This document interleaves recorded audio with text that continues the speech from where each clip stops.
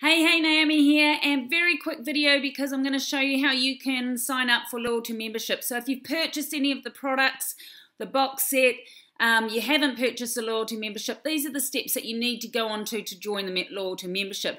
Also, I've mentioned in the previous video, if you're buying just the box set, you need to purchase the box set first and then log into your account, which is here, and then I will show you how you can actually sign up for loyalty membership.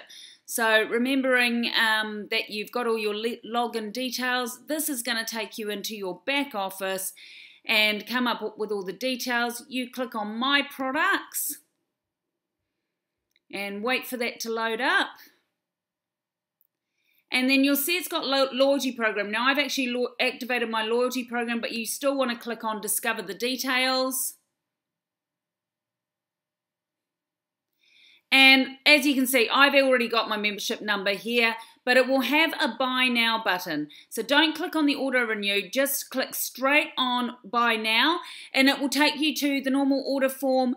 Uh, there will be down the bottom a button to push auto renew. So do click the auto renew, then you don't need to worry about uh, going in and purchasing it every month. So uh, click buy now and then auto renew, and that'll that's all you need to do to set yourself up for um, for loyalty membership. So I will see you in the next training.